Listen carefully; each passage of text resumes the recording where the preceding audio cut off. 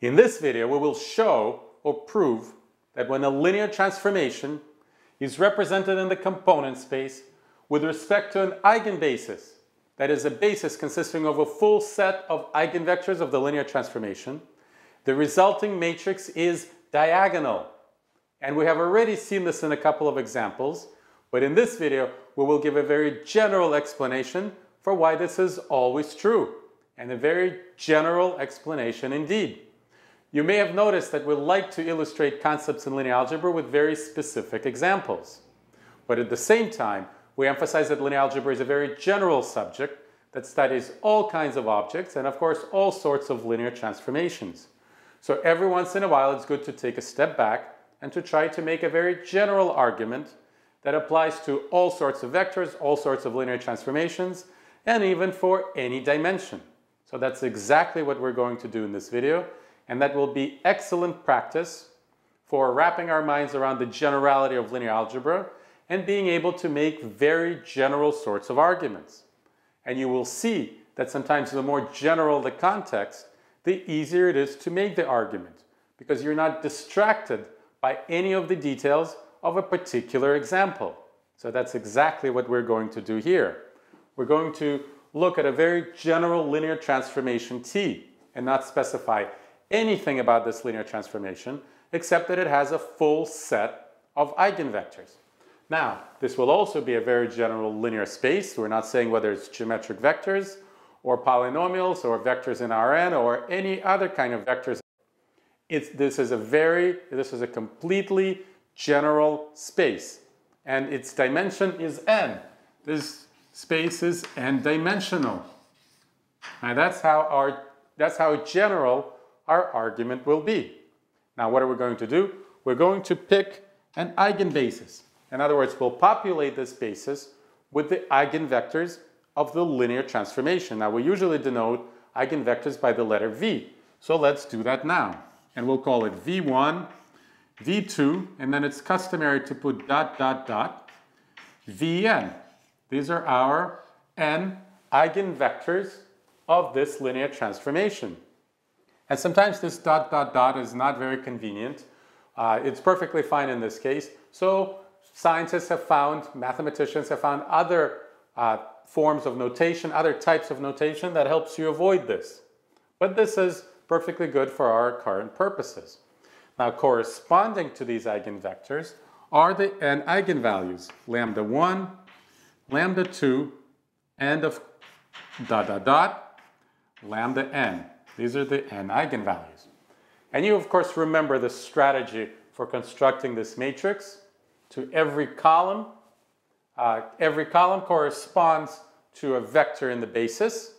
And to construct the column, you have to apply the linear transformation to the vector and then decompose the result with respect to the same basis.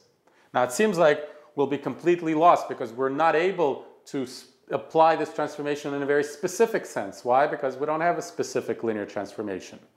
All we know is that we have to apply the linear transformation t to v1 and then decompose this vector with respect to the same basis. Now how are we going to do that? If we don't know what space we're dealing with, the dimension, the kinds of vectors, or even the linear transformation. Well, we know the one thing that we really need to know to accomplish this task. We know that T of V1, by the very definition of what it means to be an eigenvector, is lambda 1 times V1. Because being an eigenvector corresponding to the eigenvalue lambda 1 means that when you apply the transformation to this vector, you get this multiple of the input vector itself. So T of V1 actually equals lambda V1. And now we have to decompose lambda V1 with respect to the same basis. And again, for a moment you might be thinking, well, how am I going to do that? I don't know what the vectors are. I don't know anything about this. How, how do you expect me to come up with specific coefficients, specific numbers to put in this matrix if I don't know anything? Well, you know just enough. And this is what I mean when I say that sometimes the more general the context, the easier it is to make the argument because you just have very little information, so you know that you have to use that information. So if you have a vector that's lambda v1, and you have to decompose it with respect to v1, v2, and so forth up to vn, well, you know that all you need is just lambda 1 of this vector because lambda 1 of v1 is precisely what we're trying to decompose. So our coefficients will be lambda 1, 0, 0, 0, 0, 0. And of course, that decomposition is unique. I'll leave it up to you to explain to me why that decomposition is unique.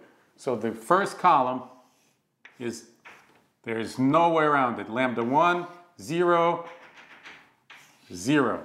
That has to be the first column of this matrix. Let's move on to the next column. And I think by now you're, you're, you see what's going to happen. Because of course, T applied to V2 is lambda 2 V2. And now we have to decompose this vector with respect to this basis. And of course, that decomposition is 0, lambda 2, and then a bunch of zeros and zeros all the way to the end. So what we found is that it's 0, lambda 2, and then a bunch of zeros all the way to the end. And of course, it would be the same for lambda 3, lambda 4, and for the last one, let's just do it for the last one and see what we get. Let's put, replace the 2's with the ends. Okay, not bad, not great, but not bad. All right, there we go. And let's now put dot, dot, dot because we're skipping everything in the middle. And here's what we're going to get in the last column. Well, you see what we're going to get. We have to decompose this vector with respect to this basis. And of course, it's none of any of the first n minus 1 vectors and lambda n of the last one. So the coefficients are a bunch of zeros followed by lambda n. So 0, 0, all kinds of zeros, lambda sub n.